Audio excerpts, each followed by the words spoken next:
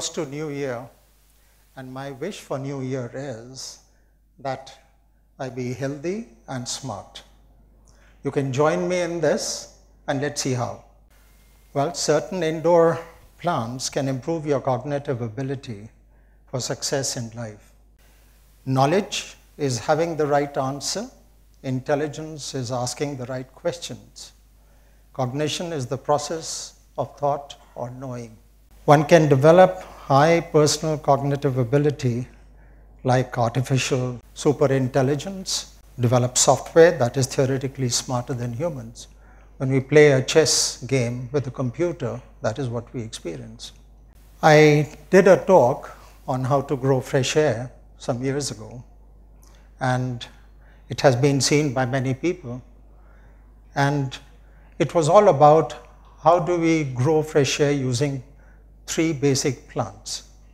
The plants being areca palm, mother-in-law's tongue, and money plant. Areca palm is a plant which converts CO2 into oxygen during the day very effectively. Mother-in-law's tongue is a plant which does the same at night when it's dark.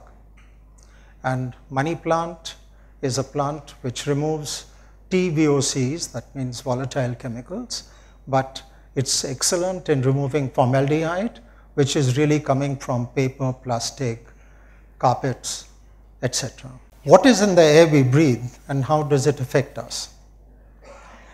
In Delhi area, ozone is a major issue and it, this is in the atmosphere and also which is good but on the ground level ozone is not good because it oxidizes the lungs it oxidizes the skin and you can get wrinkles but what happens is when it oxidizes your lungs you cannot put anti-wrinkle cream on your face which you can but not in your lungs. So there is an issue. I'll deal with this little later. What happens when the lungs get oxidized is that the PM2.5 and PM1s, which are in the air, really go out and get absorbed by the lungs and they get transmitted to the arteries into your bloodstream. Some of the PM2.5s get absorbed in the lungs itself so you may have seen pictures of lungs of people from Delhi, which are dark or black, and people who are living in the hills, their lungs are clean. So there is an issue here. That's what particulate matter is.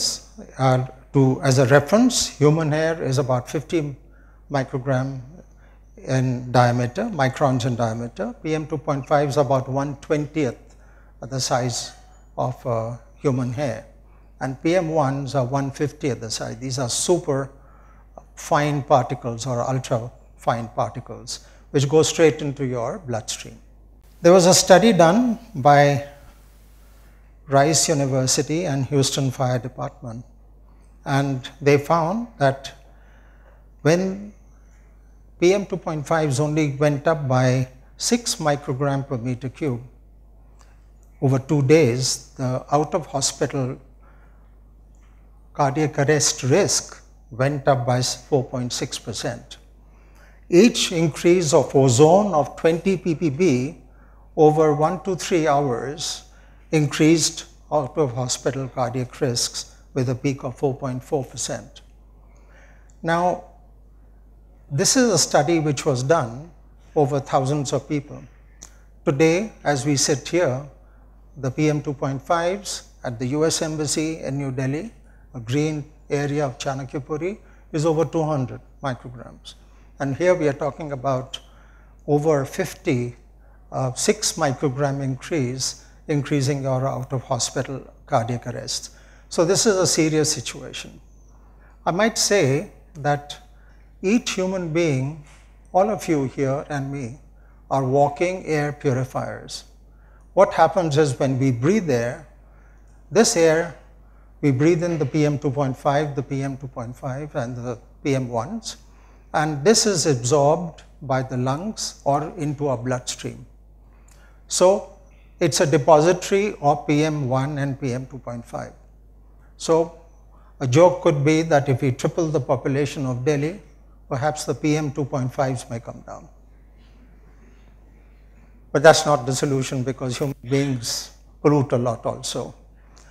So it is an important, serious issue. I'm told by my friends that, look, if you go and filter the air or put air purifiers, perhaps you're reducing the immunity. But that's not true. Because if you go and drink a glass of water, which is not good, not clean, you'll know. Next day you'll have a problem. But with air which you're breathing, you think that it's okay, I'm tolerating it, I'm, it's perfectly fine, what's the problem? And today, my thing to do would be to be successful and so on and so forth. And air quality is not that important for me. But it is important because it is all settling down in your veins and you're going to get trouble sooner or later. A good indicator of elevated levels of pollutants is carbon dioxide by itself. And this was not really understood till recent research and this also affects human cognition. Remember, the brain weighs about 20, it takes up 20% of the oxygen which we, which we breathe, but it only weighs 2% of the body weight. And hence, it is important to keep the brain supplied with oxygen. There were two recent studies done by Harvard and University of California, Berkeley. And the first study really showed that lower CO2 levels were coupled with lower and coupled with lower pollutants in the building, cognitive scores were 101% higher than in conventional buildings.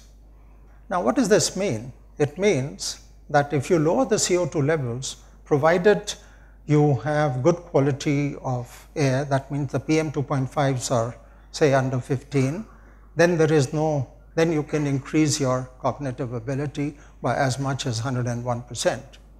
Another Harvard study, they did a double blind study and they took people uh, in one room which was normally ventilated in Boston and another room which was ventilated with 40 CFM of fresh air per person.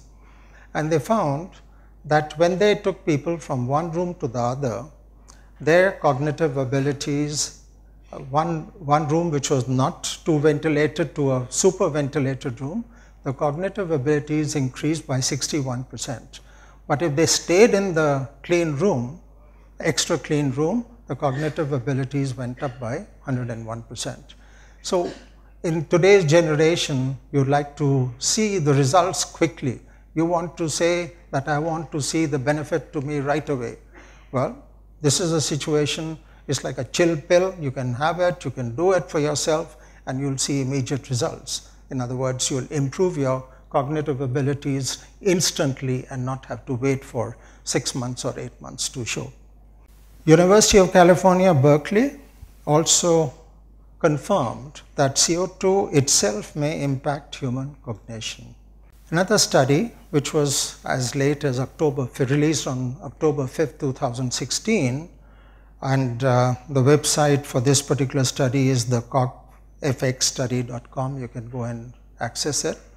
It showed that people engaged in crisis response, their cognitive abilities improved by 131%.